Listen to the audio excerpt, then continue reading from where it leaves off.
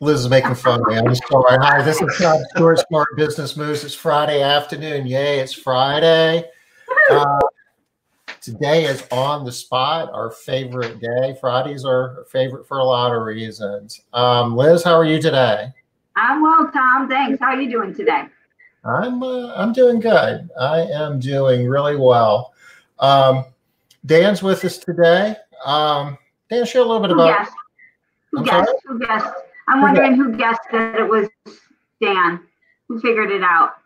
We have. Oh, I don't even have my phone up yet to know who's there. Nobody. I don't know if anybody- Actually, actually, we've got I mean, we've got some people on, but nobody's saying anything in chat yet. I mean, you work with Oh. Dan a lot, Liz. Why don't you introduce him a little bit before he uh, shares his story? Oh yeah, Dan the man with the plan. Uh, okay, so first I want to tell you though, Dan, on the right hand side of your screen where it says private chat, there's another tab that says comments. You can you can see I your see stuff. that. there. Yeah. Okay, you're the first person. Nobody ever sees it. I always have to tell everybody. uh, okay, so yeah, I work with Dan in um, our MMA group. And how Dan got dumped into our group is he signed up for foundations. And part of the perks of being in foundations is six months in the MMA program. So uh, that's how I know Dan. And Dan, I, I feel like we've really gotten to know each other well because of that group. Would you agree? Yeah, yeah, fair enough. So it- what started at six months, I um I've already uh, invested a little bit further, and and and I'm locked in for another six months. So you're stuck with me for uh, for a full year. Aw. yeah, when um when I thought that we might be losing you after only six months, I was like kind of crushed. Like, oh my gosh, you know, you you're the brainchild of a lot of the ideas that we do, and some of our best ideas, which I know we can't really talk about, but some of our best ideas were your brainchildren. So that sounds weird, brainchildren. Children, Yeah, It- brainchildren. it's, yeah. uh, brainchild. It's a good group, uh, guys. I'm happy to to be here. Uh, and uh, grateful for the opportunity. And, and Liz, uh, obviously, uh, kicking off the quick introduction. But uh, my name is Dan Smith, and I'm the owner of Homemade Better out of Oklahoma City. We're creeping up on four years in business now, so very much um, a small business, still trying to find our way. Uh, but like uh, like most of you out there, we've um, had a lot of ups and downs uh, as of late. Uh, no difference. Um, but my background is on the technical side, so it's been really fun and enjoyable blending uh, the technical skill set that that I've um, learned along the way with with the new industry that, that I've kind of dug my heels into. Awesome. Well, we're going to have some fun here shortly. We're going to be asking, answering a bunch of questions. But Liz, Sarah has a question, I think, for you. She wants to hear more about the clue on Dan that gave uh, a lot of people, I guess, gave it away. Yeah, well, um, the reason why I said the clue about Dan is he's not a face that's out there. Not a lot of people know who Dan is or have met him. He's not one of the people that's in every single chat room talking about everything under the sun. He's kind of a workhorse and he sort of puts his head to the grindstone and work, work, work, work, work. So not a lot of people know him, but um, I want him to get more out there. And so that's why we brought him on Smart Business Moves because he's one of the smartest people I've met. And I, I think that he has a ton to offer to our industry. And I want to make sure that people have the opportunity to meet him and work with him. So, in So other words, what you're why- saying, you know that. What you're saying is this isn't the last time you're going to see Dan. No, absolutely not. Uh, my head may not be able to fit in the frame next uh, next go round, No, uh, but uh, thank Oh, you. Thank come you. on, Dan. Come on. You know, you know it's true. Leslie is uh, saying hi. So, I guess she recovered from yesterday. Hey, Leslie. Thanks again. She's still, she's still vacationing. Well, yeah, of course she's recovering. Yeah. Yeah, good to see you, Leslie. Still real quick before we uh, get into uh, on the spot. Next week uh, greg shucker is going to join us uh, and real quickly he's got a lot of really good information on how he personally has been able to recruit talent from all over the world to help him in various aspects of his business. And it's uh, he's going to share his tips and tricks on that. And um, if you can do it right, you can get some really talented people at a price that uh, would probably surprise you. So you really want to be here Monday for that. Uh, Liz, why don't you share with us a little bit about uh, Kathy Nicholson? All right, so Cassie is my son's girlfriend, fiance. I don't know exactly what title she uses, but she's been in our family for I don't know four maybe five years now, and uh, she is a uh, she's a she's a nurse. She is going to school currently to be a I can't remember, kind of nurse, some fancy schmancy nurse that does um, I, I can, oh wants to put you to sleep. I think can't remember what it's called, a- a- anesthesia nurse or anyway, she's got some special degree she's trying to go for right now. Uh, anyway, the reason why we're bringing her on the show is she works in the medical field. Her family is all in the medical field, has been for decades. And I thought that it would be nice to have somebody that could talk to us more about COVID 19, where they are with um, um, therapeutics and vaccines. She's got a lot of information in that way. Um, how how the virus is spread a little bit more. I mean, I, I know we feel like we know a lot of this stuff, but I just thought it might be nice to hear it from the insider view. It's a different perspective. But that's what we're being classy on. And we're learning more every day, and there's a lot of uh, lot of lot of new stuff that we should be talking about. So I'm looking forward to that. Me too. All right, and then we also have Aja on Wednesday. A lot of you probably know Aja. She is Laura Smith's uh, from All Star, her operations manager. And I, I thought having her on here would be an awesome opportunity for all the business owners out there to sort of pick the brain of a very, very successful operations manager. Uh, most of you know that Laura's daughter uh, is undergoing cancer treatment right now and has been dealing with that for almost a year now, going on a year. And Aja has been running that operation. So I thought she could share with us some of the struggles, some of the things that she finds value in and, and being in this position. What are the hard things? What are you looking for in a great uh, operations manager? So because that's what she is. She's she's a great operations manager. She is. Yeah, very, me too, Sarah. She is. I mean, she's talented. She uh, strong in technology. Uh, tremendous amount of energy. Um, you're you're going to get if you, if you've never met Aja before, you guys are going to be blown away. You need to, yeah. you need to see that. Thursday. Then, then we have a secret guest on Thursday for on the spot because this is our last Friday. Uh, what do I call it? Transmission, I guess. it's the last last one we're doing on Friday, at least for a while. Yeah. Uh, our plan is to move on the spot to Thursday, and so next week's secret guest, the clue is that he is a true family man. Uh, he and his wife work in the business together and they have been married over 24 years, I believe. I, I, believe they've been married a quarter of a century, maybe even more. Um, and they have a very, very strong marriage that a lot of people admire and look up to. I think I think you just gave about four or five clues there. Oh, that's a good clue. It's a very, very deep and multifaceted clue, but that's fine. We'll, we'll, oh, we'll yeah. You guys start throwing your questions up right now. Good job, Heather. Thanks for the yeah, because we're going to get start going. throwing them up there. So, um, Liz, you're not I, in. Liz, why you are not in your car today? I am going to leave. I've got my, you know, I don't usually wear shoes in my house. I got my shoes on. I've got my keys ready. Got my purse here. I'm ready to walk out the door as soon as we're done. So you guys need to queue your questions up because yes. the second that there's no more questions in queue, Liz is bye bye. Yeah. yeah, I'm hoping we get out of here just a little bit early so that I'm not late to my meeting. So okay. We'll so we did we did deal day on Wednesday. That says yesterday because I showed this yesterday, and yesterday it was yesterday. It was two days ago now. Um, the deals that we shared on Wednesday are still out there. They're still active, but the clock is ticking. You know, as soon as we're over here, if you guys are interested in a really good deal on Debbie Speed Clean employee training system, or getting a really good deal on the Ladybug, or if you're interested in the PHC training program, we've got an entire bundle there, and that's all I'm going to tell you. But you can save money and get a lot of extra cool stuff too. Go to the Facebook uh, live that we did for Smart Business Moves two days ago on Wednesday. Watch it, get the deals. Do it if you you you, you want to take advantage of it because you wake up in the morning, it's going to be gone.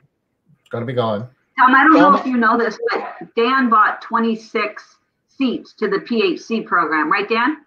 I did. I, I was just going to say that I, I, I worked the numbers and I and I was identifying every price break I could, and uh, and I got in at, at 26, and and I feel like I got uh, not only I did I get a deal, I got a better deal, uh, so I'm pretty excited yeah. about that. Yeah, I, I, I'm glad you're you you will love it, and I know how you operate your business, so it's going to be a boon for you. You do you know that you also got um, 26 COVID classes Yes, I, in that, Dan? Absolutely, I couldn't pass up the uh, the chance to to the the PHC program in itself is valuable, but obviously uh, times are changing and news is changing every day, and uh, the updated uh, COVID presentation I think is going to be pretty strong and, and relevant and allows me to bring extra value to the team uh, from a, an authoritative standpoint. That's not just me reading headlines, if you will. So that's kind of why I jumped in on on that. So I guess Liz just spilled a little bit about what part of the deal is, but there's more stuff in it too. Um, I did this yesterday too. I'm so sorry. I am not good at this part of the game. but gosh. Um, one, one thing, one thing, you know, Dan, you, I'm, I'm, sure you're aware of this. Those seats are good for like an entire year. So, I mean, you don't have to use them all right now. You can kind of look ahead and say, well, how many people are going to be training over the next 12 months and buy them in bulk and save yourself a ton of money, especially with this deal day special, which will be expiring here uh, by the end of the day. Hey, Dan, do you mind sharing? Uh, I know that you shared this in the MMA group today, and so you might not want to share here, but do you mind sharing what your plan is for those, how you're going to use them? Yeah, I don't. I don't mind sharing at all. I, I had a little bit of strategy in that the 26 um, obviously gives me the benefit to pick and choose uh, who I want. I mean, we can cover our whole team with 26, right?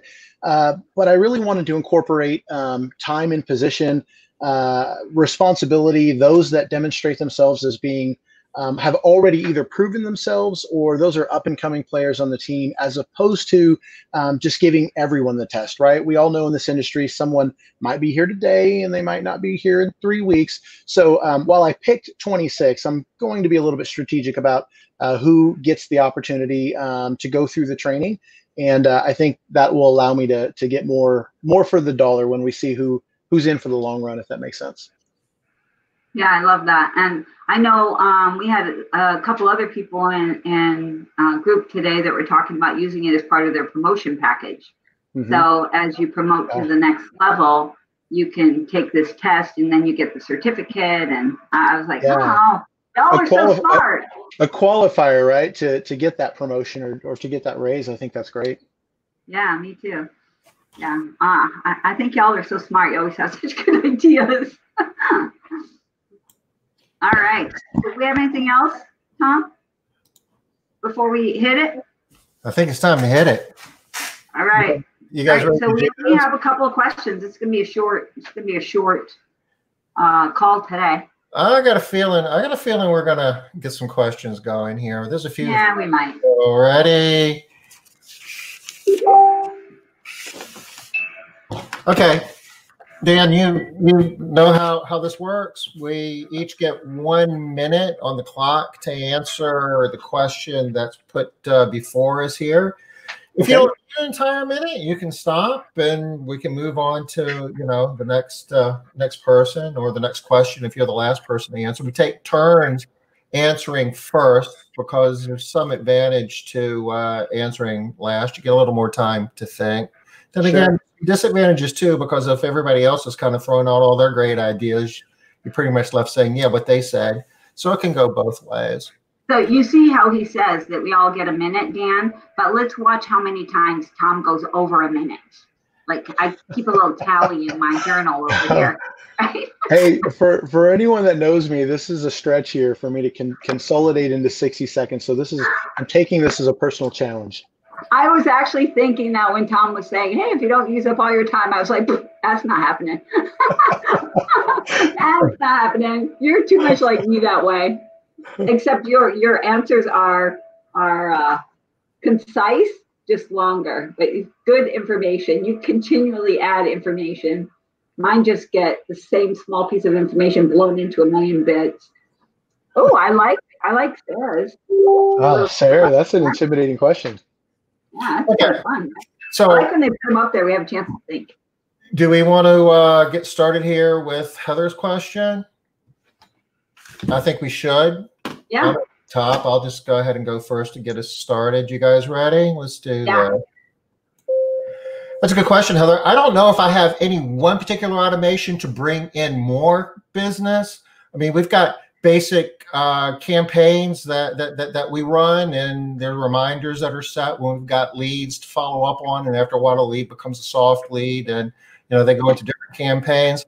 Uh, a lot of the automations that we use, and in full disclosure, we use Maid Central, are about keeping customers because it's more important to keep customers than it is to churn them and always be looking for new ones. So we use automations to uh, remind customers of uh, when we're going to be uh, arriving. If there's any changes in their schedules, those are automatically communicated either through text or email or automated uh, vote, uh, voice call. We use uh, automations to send out what we call scorecards, quality checks. And a lot of that basically keeps customer satisfaction and keeps helps you keep the customers that you have.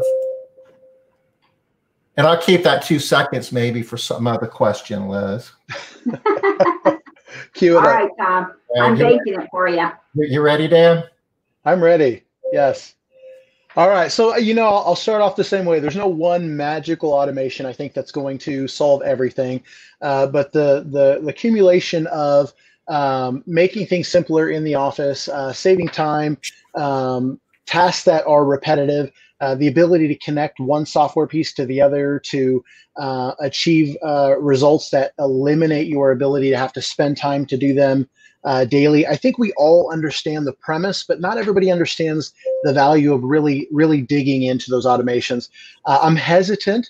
I'm a little hesitant to share here. the number one automation I think that kind of is the most impactful in our business has to do with um, seeking uh, seeking reviews. Right when we go out and do a good job, if the client is happy, if they're satisfied with uh, with our job, um, we we have a little trick uh, to uh, solicit their feedback and and get their Google review. Uh, we're uh, we're happy about that, or whatever platform that Oh, Dan, by the way, when you're a guest, when you're a guest, you can have a few extra seconds. We're you know, okay with that my cadence was like getting faster, and I'm like, ah, ah, ah, here we go. Yeah. But but Liz will remind you of it ad nauseum if you go over. So just just saying, just you, I'll find, you just got to find the, the balance. I'll yeah. find the balance. Huh. You ready, Liz? Yeah. All right. So I do not have uh, any kind of a great automation to bring in more business. I wish I did. Uh, I I I don't. Um, probably the, the thing that we do to bring in more business is that we routinely contact our customers and we ask for referrals. Um, so that is really, really old school. Um, but I, you guys will remember, it was it last week, I think, maybe the week before when my daughter was on? And she she touted that too. She said one of the things that you got to do that's always worked is keep asking for referrals from the people that you already work with. Since we contact our customers every single time we're going to clean, we contact them before to remind them we're coming, and we contact them after to find out if they were happy with the service. That we have two opportunities every single time we clean to call them more people. I saved you bacon on that one. You got yeah. two words. Thanks, Thanks. I like it. Okie dokie. Um, Can Heather have two questions in a row, or do I need to go somewhere Of else? course. Yeah, if she has two questions in a row, she can have ten. Yeah. Go, girl. first in, first out. First come, first That's serve. right. This is a good question. I kind of like this. You ready, Dan? I'm Hey, ready. Katarina. All right. So um, I, I will tell you this is almost a, a cheat answer, right? My favorite, most used software in the business that is not a CRM, hands down, is Zapier. We've all heard of Zapier. If you haven't, it is a collective uh, software handshake, is probably the way I could put that. Um, you have software A, you have software B, and Zapier sits in the middle and talks between the two of them. I think a lot of people in our industry are familiar. Um, but the ability to take Zapier, uh, and I say it's a cheat answer because it almost ties to the automations, right? Um, connecting A to B uh, to achieve a quicker C, uh, hands down, Zapier is uh, is my favorite um, my favorite software spe- uh, piece that's worth um, worth every dollar that that we pay for it every every month, and we use it heavily. You Gosh, ready, Dan. That's good, Dan. Yeah, I'm ready. So my favorite thing that we use is Asana. Uh, it's a project management software, and I like it because um, I, I'm not in my office a lot. So I like to be able to see what everybody's working on, and I like to be able to assign stuff. And we do something that we call a Scrum. We follow a Scrum methodology. And so tracking our Scrum activities uh, could, is a little bit hard when I'm, I'm not there, but we can track them in Asana. And that's it. For me, it's Asana. I, I just love using that program. Wow, that's I'm banking my, my 17. Liz. Um, it's like I'm Elena or something, right? Yeah. Okay. Honestly, in terms of the most used software, nothing glamorous about this, but I'm kind of scratching my head. It's probably a toss up between Ring Central Meetings and Outlook. I spend more time in email than what I want to admit, but it's just kind of the life I live at the moment. And I'm not going into the office very much at all. And I'm finding that I really don't need to. And I'm still able to communicate using uh, using Ring Central Meetings, which is really just a um, white label version of Zoom. But uh, we use Ring Central as our telephone system, so it kind of comes along for free. Um, you know, we use uh, Office 365 suite. You know, it's got uh, several pieces of software I use a lot. I use OneNote a lot. I use Planner, um, all the desktop stuff. There you go. We are doing so well. I feel like we should all get gold stars today. We're doing so, so well. Oh, shoot. There was a question there and I didn't even pay attention. So this is uh, really isn't uh, on the spot question, but Yeah, I'll that's the one I want to be first on. I want to be first on that one, Tom. okay. well, are you? Yeah, I guess you are. Go, Liz. Okay, so Sarah, Aja is speaking next Wednesday. and I will, if you tell me, I'm not done, Tom. I got more to say. Oh dear. Go, go ahead. And anything that you want to know, Rochelle, uh, uh, from Aja, let me know in advance and I will tee her up so that she's ready to answer all your questions. I know a lot of people are going to want to hear about Ocean's 11, and that's absolutely on the agenda. Sarah? Okay, that's not a that's not a real question because Yes, it is. It was So a real you're- need. Well, I mean, It it's a real need for Rochelle. Yeah, there's nothing that you know. Same thing. That was a question. That a question. I'm sorry. You got I'm not. I'm not first up on the ten thousand. That that would be you. question. If you had ten thousand dollars to invest, Liz, in your business right now, Liz. Tom. how would you spend it? You have to tell me what you would do, Tom. Okay, So just just tell everybody. that is a really good question. And if I, you know, what what what what's the best way to invest ten thousand dollars in my business? Um, I have, you know, recently made some investments in electrostatic sprayers. I believe that COVID is going to be with us for the foreseeable future, and that the demand there, there's opportunities to use that uh, those tools and those technologies to uh, uh, expand our business and to uh, create a higher level trust with customers. Uh, in terms of that's about it from a from a from a, a, capital equipment side. I think the other part of it, we're doing, we're actually doing this. We're spending a ton more on training.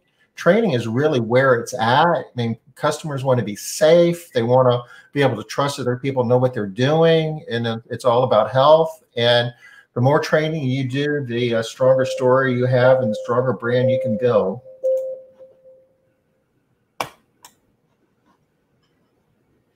Dan, you're up. All right. Uh, solid, solid answers, Tom. You're, you're talking about new equipment, new services, new training. I think for me particularly, if I had um, if I had just a an extra ten thousand dollars that I was going to throw at investing in my business right now in this time uh, in this time frame, I, I think I would pour that into a new website. Now we're talking about a hypothetical ten thousand dollars, right? We're just free money. I'm I'm going to assume here. Um, but I would, uh, if it is needed, if it's needed, uh, I would invest in um, repositioning the website for um, present day relevance. Right? We um, uh, in a in a pre-COVID world, uh, our messaging was one thing, and uh, the argument can be made in a current situation, uh, current times. maybe the messaging can be different, and it can talk about your electrostatic sprayers. It can talk about uh, the safety and uh, uh, trust factor that, that you bring to the marketplace. Um, I would put ten thousand dollars in into a new website if it if it were me. Good answer. I like that. You uh, ready, Liz? Yeah. So one of the hazards of going last is somebody else always takes your answer. All right, and that it serves me right for pushing off the answer. So mine would be website. Um, I put ten thousand dollars on the website, and then also um, online booking, so that people can book faster, but for like a COVID clean. So something that they could get really, really quickly. Um, and, and everything around safety, health, and I would focus it on the psychological um, health and the psychological safety versus the physical because everybody else is going physical. So I would hit on psychological. Great answer, Dan. yeah, well, I think uh, I think that's solid. Yeah, the psychological side is the is the comfort level that people want, um, whereas uh, you know, arguably a couple years ago they wanted to make sure that it was clean and and didn't think much beyond that. So, um, yeah, relevant times. Yeah. Okay, Dan, you're up, and the next question is what is the most valuable position in your company other than yourself? That's a bit presumptive. I don't know if I would have gone that, even that was an option. And what do they do? Okay, yeah. okay. I'm this is yours. Go. This is me. Okay. Um, hands hands down. This is gonna sound uh this is gonna sound like such a um opportunist, like opportunistic answer. yeah, right. So my wife, uh, my wife Sunny joined the business um, about three year, uh, three three months ago, right? And um, and I'll I'll just be candid and, and, and I'll be honest. I've been trucking along the way, um, trying to grow the business. Um, and and you know the, this industry is dominated by by mostly females. Uh, maybe dominated is not the right word, but there's more female owners than uh, than not, perhaps. Um, so I'm over here thinking like a man, and I'm trying to grow a cleaning business uh, like a man, and then all of a sudden my wife comes in and she invokes um, an entirely different uh, train of thought, and all of a sudden we've had a remarkable outcome. So um, our VIP in office VIP player right now, hands down, my wife. You're a smart guy. And, and really, before before you go, real quick here, Tom. Um, I, I have to say that I, I talk to Dan every every day or almost every single day, mm-hmm. and he's not just saying that to flatter his wife. He really he really does believe that she really has brought a, a new dimension to to the business that it, is, game changer. Awesome. Yeah, it's been a yeah. game changer. No, I, I didn't want people to think you're just like fluffing up your wife because it is the truth. You know, yeah. my situation, Liz, you don't have to stretch my imagination to see how that can yeah. Absolutely. Your your situation is very similar to Dan's, Tom, in that you kind of have a quiet wife that does like is a powerhouse. You ready to go, Liz? I am. Um, so the most valuable position in my company is a position that we call the culture coach. And this position is responsible for um, for a lot of things. Uh, most of the time, people think of it as the person that's in charge of like parties and stuff, barbecues, parties, and and um, you know anniversaries and birthdays and celebrations, and she does all that. Um, but really, it's more about making sure that our mission and values are adhered to on a daily basis in a lot of different ways. Uh, it's her job to question everything we do around uh, mission and values. I wish I had more time. I'd give you guys a quick example of an employee that was upset by something. He was going against the office, and turned out the employee was right and the office was wrong uh, because of hmm. core values.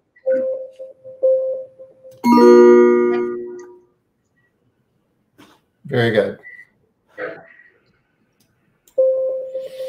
I've got a lot of people in my organization. I've got a lot of positions that are valuable. I mean, Liz will tell you, I've got uh, some people in my management rank that I'm really very fond of.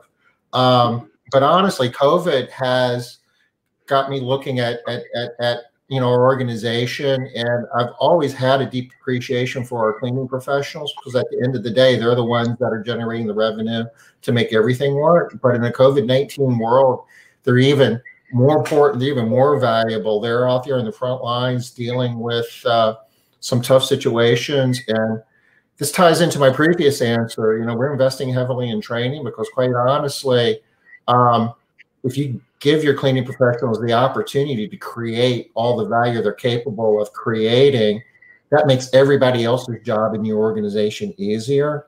And I believe that we would all have better businesses if we put more focus on training our cleaning professionals.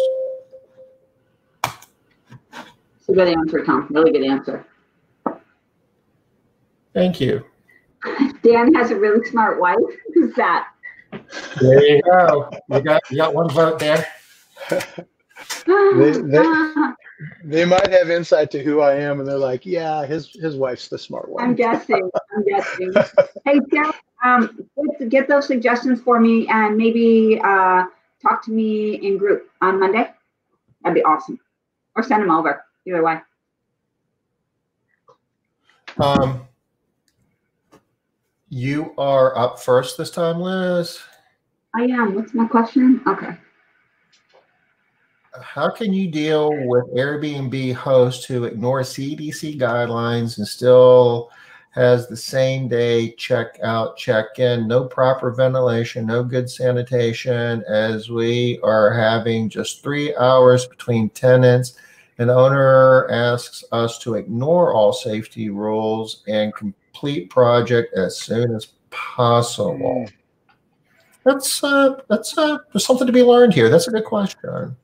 Yeah. You uh you ready, Liz? Yeah. I'm gonna I'm gonna hide the question because it's covering your face and people need to be able to see you. Go.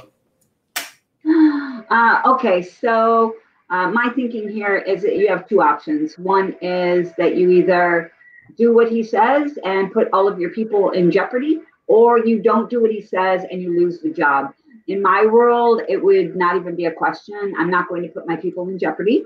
So I would explain what I can do versus um, um, trying to talk to him about anything that he wants to talk about. I would explain to him what it was going to take for me to be able to do the job because I would still want to save the job, but I'm not willing to put anybody's uh, life or health at risk. Very good. Very good. I'm up next.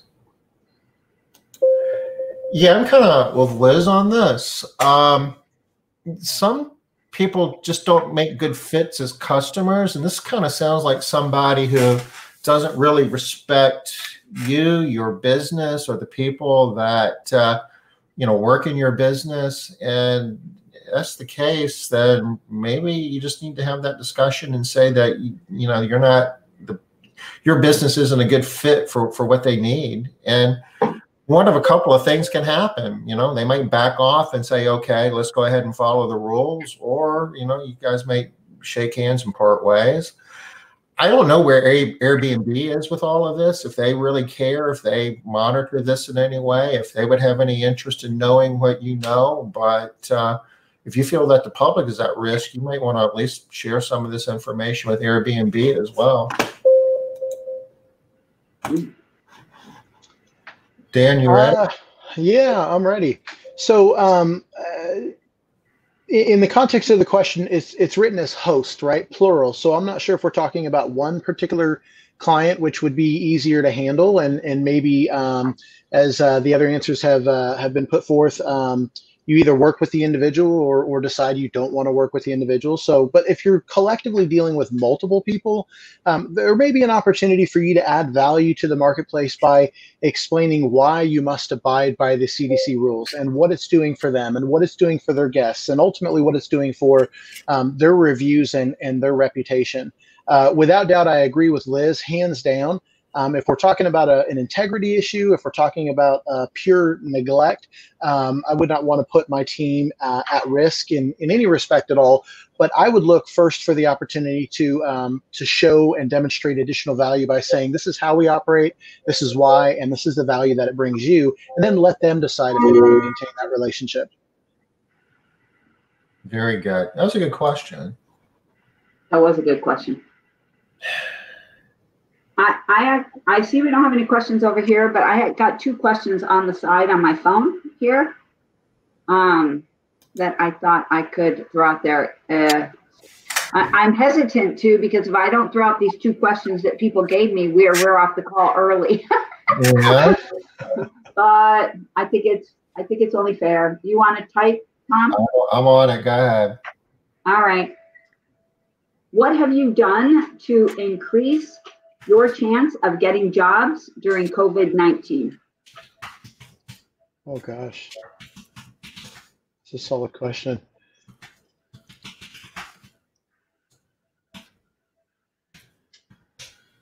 All right, and I'm warning you guys, no more questions coming through. I only have one more question. It's a small one. So we may be done early. If you guys are done hearing, then that's great. But otherwise, get your questions out there.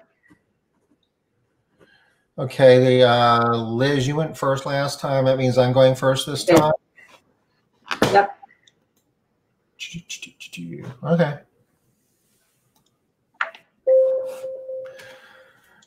Well, one of the big things we've done is implement a communication program to stay in touch with all of our recurring clients. Uh, we wound up uh, shutting down operations for four weeks and wanted to make sure that they knew that we weren't going away for good and you know they understood why and appreciated the fact that we were um, trying to bend the curve if you will back when uh, less was known and the ability to treat the disease was uh, was less than it is now. Um, now that we're back open uh, we still have clients that are you know concerned about contracting the disease and they're not ready to start service yet. So we're staying in touch with them. Um, we acquired a uh, the accounts from a, a large uh, competitor in, in, in one of our markets and picked up a whole lot of work that way. But uh, a big part of it is just communicating with, with, with our incumbents. You ready dan? Yeah i'm ready uh, gosh, I wish I had. Um, I wish I had a, a magic answer that would um, would be good for everyone. I think uh, to some degree that this might be market centric, right? Um, what might work well in my market uh, may be different in another state that is defined more as a hotspot uh, or perhaps the people that live there are a little more vi- uh, vigilant and, and hyper aware, uh, whereas other states maybe not so much. Um, in our case, uh, we took a couple um, leaps of faith in uh, engaging the community um, and engaging select uh, segments of the community um, to reach out and kind of build trust, build relationship, and um, and and lead with the ability to to deliver with the the safety precautions necessary to to let that group and, and those people know that we are um, abiding by CDC guidelines. We're working in their uh, best interest, and as a result of that, uh, we've seen uh, we've seen an increase in business um, during the time where maybe not everybody has, and I, I think a lot of that has to do with um, developing that trust, communicating uh, what it is that that you're doing during during this time. You took full advantage of the guest overtime rule. Good job. Yeah, he used your extra time and he used my extra time. I, I rolled the dice. I thought, well, here we, we can we can I can try to push the push the line. Push Feel the like line it's over. virtual. What can they really do to me? wait, you wait, Dan. You will pay in group next week. Uh, okay, my I'm up. Yeah, You are. You ready? Yep. Uh, so I started when I got my PPP money. I started a group um, that uh, was called House Cleaning for Heroes, and I started giving away clean, uh, free cleaning to the hero people in our neighborhood. You guys know, you remember that Heather came on here, and she um, what, got some national press for this idea. Um, it got me more business because um, obviously I was doing the free cleaning, but it also opened up my um, my network to this medical community. And so those people had my name now in a bigger, better way. And so we've gotten more jobs from those people. We've signed up some recurring service because of that. It didn't happen right away, but little by little. Cool. I wonder whose brilliant idea that was. Uh, Liz, Liz, that may or may not have been the trust factor that I was uh, talking about with the select group. So uh, you, you queued that up great. Okay, good. You have a suggestion here, social media. Um, Okie dokie. Um, Liz, do you have one last question in your uh, queue? Is this, is that a question? Social media and community groups? I think that was just a suggestion of something else to do to get more uh, business during COVID That, that makes, that makes perfect sense. Uh, yeah, where's my, where did I write it? I don't remember. Oh, okay. It is, what is your retirement plan?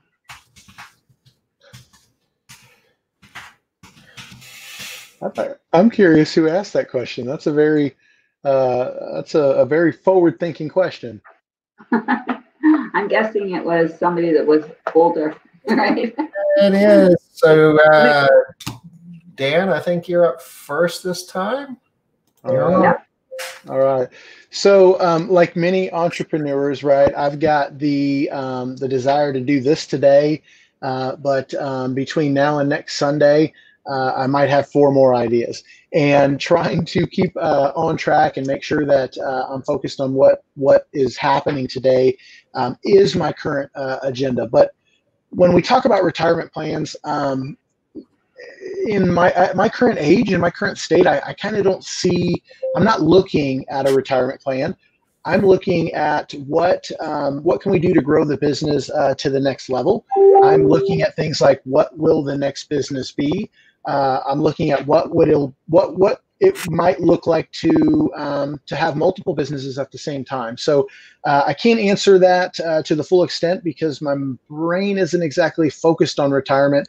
Uh, I'm more focused on how uh, can I be successful here, um, and uh, and deciding what the the next venture might look like. Very good. Liz, you ready?